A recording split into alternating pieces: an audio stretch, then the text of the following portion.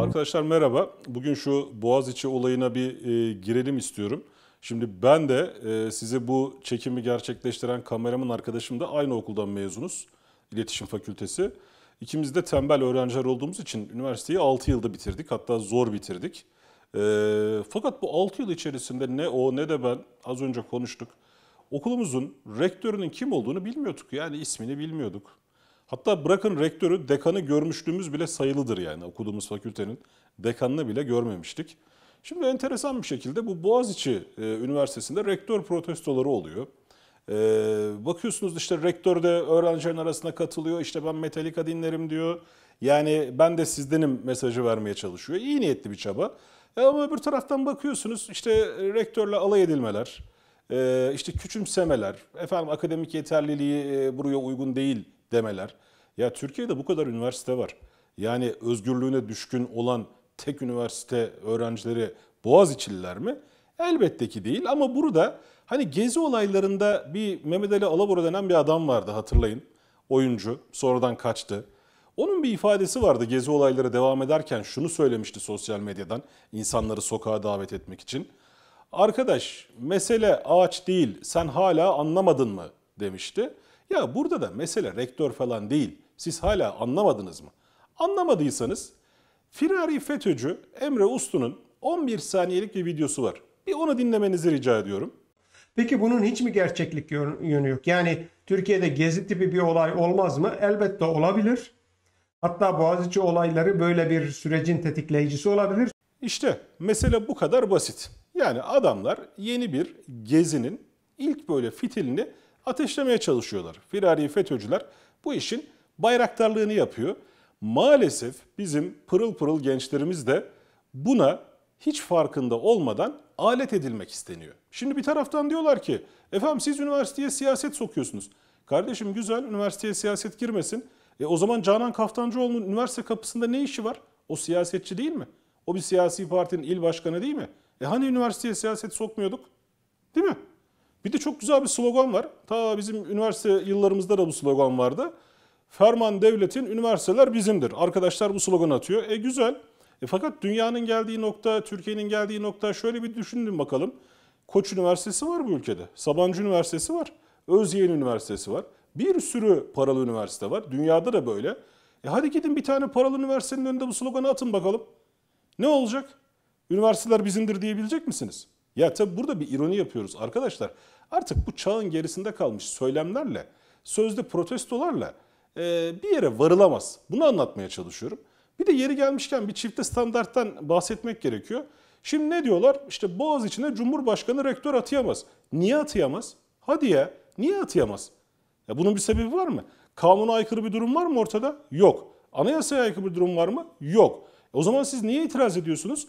Mesele burada Cumhurbaşkanının rektör ataması mı? Peki bugün rektörü istemeyenlerin yarın efendim biz valiyi istemiyoruz. İşte efendim biz emniyet müdürünü istemiyoruz. Biz bakanı istemiyoruz demeyeceklerinin bir garantisi var mı? Emin olun bu bir süreç. Ne diyor Emre Uslu? Yeni bir geziyi diyor tetikleyecek diyor. Bir ilk işaret olabilir diyor değil mi? Bir de çifte standart dedik onu hatırlatayım. Şimdi bugün sözde bu atamayı demokratik bulmayan arkadaşlar, siyasi çevreler, gazeteciler değil mi? Bakın e, Ahmet Necdet Sezer döneminden ben size 2-3 tane örnek vereceğim. Cumhurbaşkanı Ahmet Necdet Sezer, 10. Cumhurbaşkanımız. Rektörleri nasıl atamış? Kastamonu Üniversitesi'nde rektör seçimi oluyor. E, Profesör Doktor Mustafa Safran 15 oy alıyor ve birinci oluyor oylamada. Fakat Sezer onu atamıyor. Kimi atıyor? İki oy alan Bahri Gökçebay'ı atıyor rektör olarak. O iki oyun da bir tanesini muhtemelen Bahri Bey kendisi kendisine vermiştir. Yani koca üniversitede sadece bir oy alan adamı rektör olarak atıyor. Bununla mı sınırlı? Değil. Yozgat Bozok Üniversitesi. En fazla oyu Profesör Doktor Mustafa İlbaş alıyor. Sezer kimi atıyor? 4 oy alan İnci Varinli'yi atıyor. Bitti mi? Bitmedi. Giresun Üniversitesi. İlk sırada seçimde Profesör Doktor Mehmet Tüfekçi çıkıyor. Sezer kimi atıyor? Sadece 8 oy alan Metin Öztürk'ü atıyor. Gazi Üniversitesi bakın buradaki oran daha enteresan. Ee, bunu ben de çok iyi hatırlarım. 2005 ya da 6 yılıydı. Şimdi seçim yapıldı Gazi Üniversitesi'nde. Büyük bir üniversitedir Gazi. 1064 oy aldı. Profesör Doktor Rıza Ayhan tam 1064 oy aldı. Peki Sezer kimi atadı? 366 oy alan, seçimden 3. sırada çıkan Kadri Yamaç'ı atadı. Bu liste böyle gidiyor işte. Cumhuriyet Üniversitesi'nde 136 oy alan Faruk Kocacık yerine 115 oy alan Mehmet Bakır'ı atıyor. Erciyes Üniversitesi'nde 284 oy alanın yerine daha düşük oy alan başka bir ismi atıyor. Trakya Üniversitesi'nde aynı şeyi yapıyor. Demem o ki siz eğer vakti zamanında gerçekten bu işlere böyle tepkiliyseniz sadece Sezer dönemi değil onun öncesinde de gerçekten böyle bu işlere tepkiliyseniz bir demokratik kültür bilinci oluşturduysanız buna itiraz etmekte haklısınız. Ama geçmişte kendi dünya görüşünüze, siyaset çizginize uygun isimler antidemokratik yöntemlerle atandığında Sezar döneminde, önceki dönemlerde hiç sesinizi çıkartmamışsınız. Bugün Sayın Cumhurbaşkanı YÖK'ün kendisine e, ilettiği isimler arasından bir ismi e, milletten aldığı yetkiyle rektöre atıyor. O gün susanlar bugünkü atamayı demokratik bulmadıklarını ifade ederek sokağı hareketlendirmeye çalışıyor. Bunun adı çifte standarttır. Bunun adı e, başka bir şeydir. Daha da onun ismini ben koymayayım. Ama bir kez daha altını çizeyim. Şu firari FETÖ'cü Emre Uslu'nun ellerini ovuşturarak beklemesi, o ümitleri boş şeyler değil, boşa ümitlenmiyor onlar. Ee, onların kafasında başka bir makro plan var. O yüzden dikkatli olmak lazım.